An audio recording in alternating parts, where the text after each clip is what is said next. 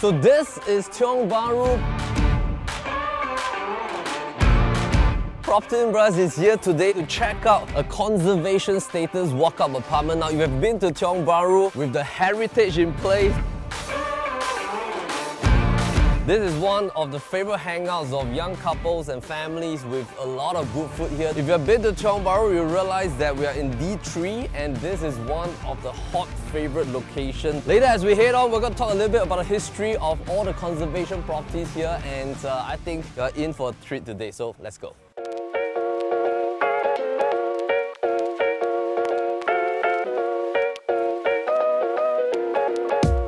So this entire area is under the conservation status for about 20 of the blocks here. We have two different types of properties right here. On this side, these are all HDB apartments and then on that side, there are 20 blocks of private apartments starting from block 55 all the way to block 82. So there's a center dividing road which is Moh Guan Terrace as well as Guan Chuan Street and Seng Poh Road. A little bit of the history, in the year 1920 plus, SIT was set up by the local government to revamp the entire entire Kampong Tiong Bahru. This is to solve the housing problem in Singapore and SIT started building pre-war apartments and the first one was at Block 55 and that was in the year 1920 plus and then it subsequently continued building all the way until 1940s. In 1942, World War II struck. After the war, SIT came back in and started restoring the condition of the apartments right here. And so after post-war, SIT started building more apartments and these were the apartments. These are now deemed as the HDB apartments in 1960 plus, MND was in place. Then Mr. Lim Kim San then said that pre-war flat, uh, which are the walk-up apartments, there are 20 blocks of them. They will now be sold out in the market as private properties. And these are not under any HDB guidelines. Pretty interesting uh, estate right here because you have one side private apartments and the other side HDB apartments. The 20 blocks also received conservation status in the year 2003. After the conservation status were received was that instantly the amount of interest for the Tiong Bahru Conservation private walk-up apartments increased tremendously after the year 2003. And right now, of course, in year 2021, we are still seeing a lot of interest for the apartments right here. We're heading up to one of the walkout apartment at level 2. Later, as we head up, we're going to show you how owning one of the apartments right here is pretty interesting. So let's go.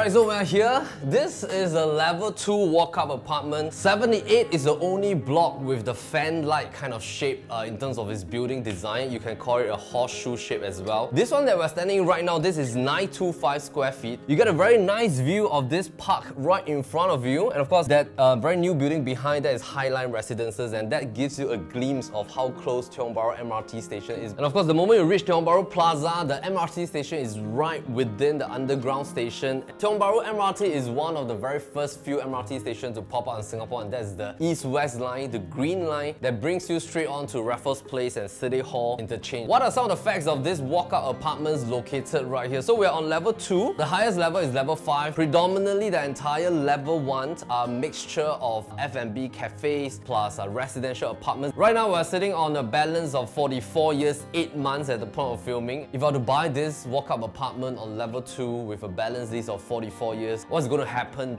after 44 years when the lease runs out? Does it make sense for me to buy this apartment?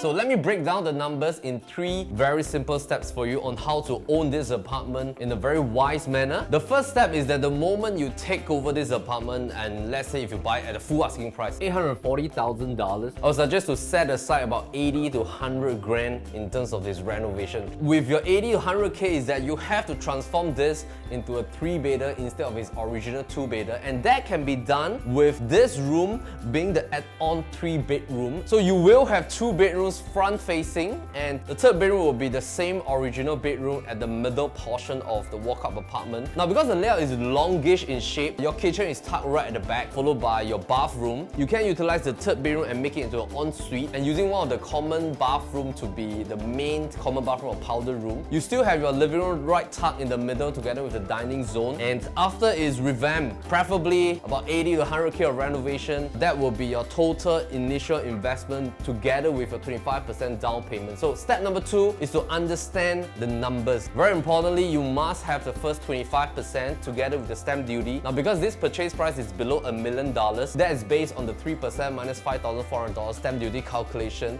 So in terms of its 25% on the full asking price, you would then bring us to about $227,000 in terms of its initial investment. You will have to take note of the bank loan here. So we have already broken it down for you. So all other banks except DBS, they give a loan based on the balance lease of 30 years, which means that they can still loan it for 14 years tenure. However, for DBS, you can go up to a 24 years tenure. Yeah, so as per mentioned, the asking price is $840,000. Based on an average interest rate of about 1.3 odd percent, the money installment is roughly about 2,500 odd dollars per month, which is very decent and reasonable.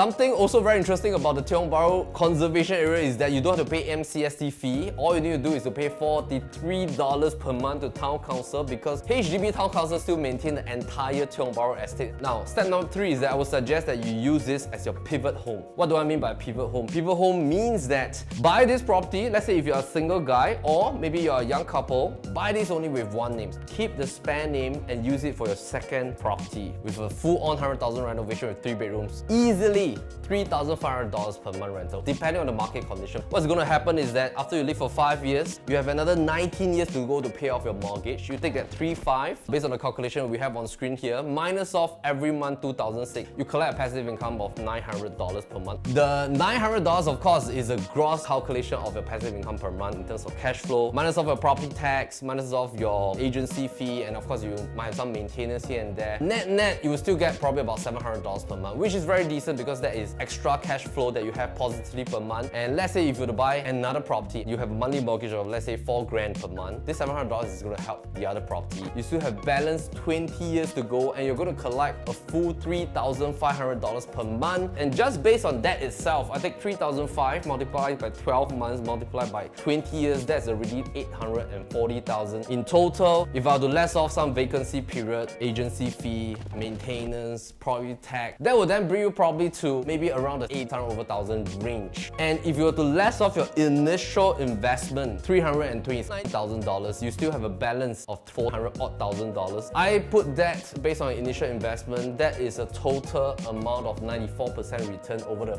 44 years period. You're buying something at a very low quantum right at the start. Your initial investment is only 329,000, buying something low quantum. Gross rental yield is high, rentability and speed is high, and most importantly, this is your start place for your pivot home. And I think it's a very good balance play because you own two property eventually. And of course, after 44 years, whatever bonus that comes later based on the government policies, that is a bonus. But at least you know what's going to happen for the next 44 years.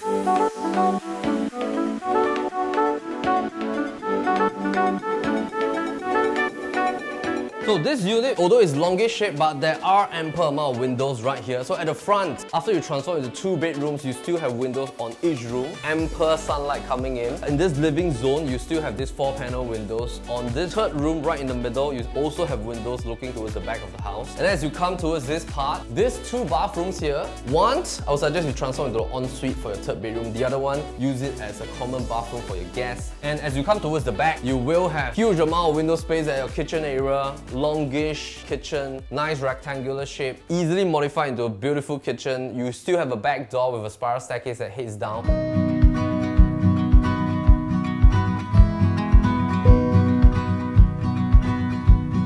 Entire Tiong Bahru zone is actually in the middle and you're being surrounded by Havelock, you're being surrounded by the Great World City Belt, you're being surrounded by the entire Bukit Merah area. So the D3 location is a very strategic location because there's a combination of heritage with a lot of private properties, newer HDB apartments. What are some of the other apartments doing right here? Now if I go towards some of the 99 years condo apartments that's around us, the very very newest addition will be Highline Residences. This Apartments over there are doing at about $2,000 per square foot. If you go for a two-bedder, easily it's about 1.8 odd million dollars, which is probably around the same size, about 8 to 900 square feet. If you go for Central Green, which uh, has TOP in about 1990 Plaza, is about 20 odd years. Two Bedder right there is about 1.6 million. PSF is about $1,600 per square foot. You go for Mera Prime, also about 1,600 plus per square foot, 1.6 million for two Bedders. And owning a two Bedder at 925 square feet for $840,000. If you want to have a look, give a call to our listing manager, Christina and Brian. They're very happy to answer any inquiries that you have. Tie with some of the bankers from DBS. Before you even commit to a place, do remember to check your in-principle approval loan. We'll give you the address, you can check the valuation and stuff like that. My name is Melvin Lim, Property Lim Brothers. As always, happy to show the place. Take care.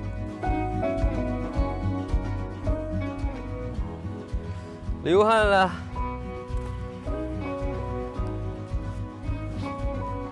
River 也在流汗呢。 Look at this. Can still find a coin phone here.